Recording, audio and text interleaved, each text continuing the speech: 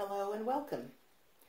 Today I just want to show you how I prevent holes in my t-shirts and tank tops from wearing jeans and jean shorts a lot. I tend to get holes where my clothes rub against the um, fly that juts out at the waist and it's very annoying. So a few years ago I started putting interfacing um, on the inside which is not a new concept but I think I do mine a little differently so I wanted to go ahead and, and show you. The interfacing I use is stretch and lightweight. And your, your knit stretch, so, so should your interfacing, always. So this is Pellon EK130. Um, you can use any stretch lightweight fusible that you like. I use white for the light colors and uh, black for the dark colors. Today I'll be showing you white on a dark t-shirt though so that you can see it better. Um, I, I started out making them square, but I found that the corners would peel up pretty quickly through laundering, so I went to making them round, and I've been much happier with that. Um, I use this souffle dish and uh, to make my circles. I, have never made a souffle in my life. I don't know why I have it, but it works for this, and so would any bowl or, or uh, pattern that you make. I like to have it at least around five inches though, because uh, that just allows for movement instead of just, I know that the holes are usually in one little area, but um, I just like to, to have plenty of room for that, just in case. So I put my bowl upside down first, and I use an air erasable pen, just because I like this kind, and anything will do, I'm sure, but the interfacing, even though you put it on the smooth side for uh, tracing, is still a little bit rough. But this works really well. So you just go around like that. I've actually already done it. And uh, then I like to use my 28 millimeter rotary cutter rather than the big 45 because I find this is a little easier to go around the curves. So then you go ahead and, and cut it out. I won't have to show you all that. And I use my No Cry glove. Love it. These are great. Okay, so you say you have your first one cut out.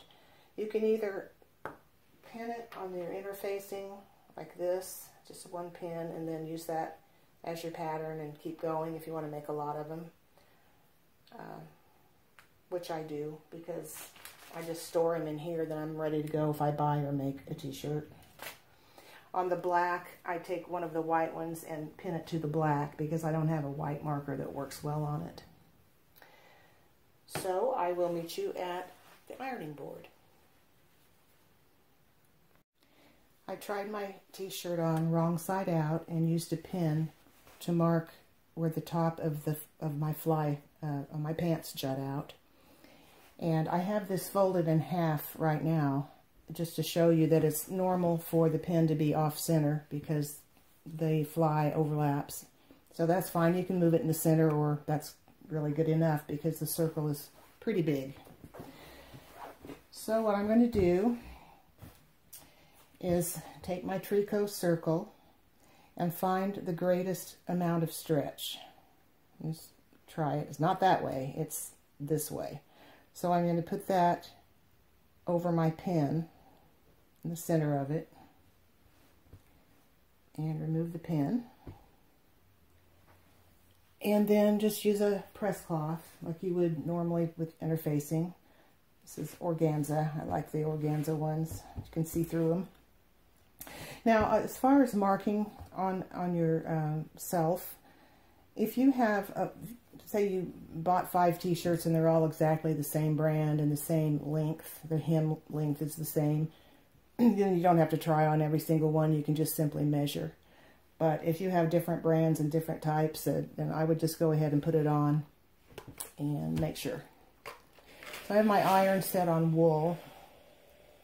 Uh, my iron gets too hot for what it says, so, and plenty of steam, and then just press down give it a couple bursts for about 20, 30 seconds. Up and down, move it over. You never want to go sideways because you could dislodge your circle.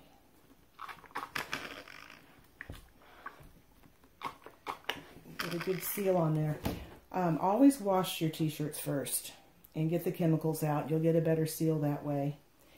And I just, I have a whole stack to do. I ran across a sale and I washed them and dried them. And I used um, Bounce, which I actually had told myself not to do just to see if that made a difference because I'm pretty sure that the dryer sheets leave a film. but it's too late. I'm not going to wash them again.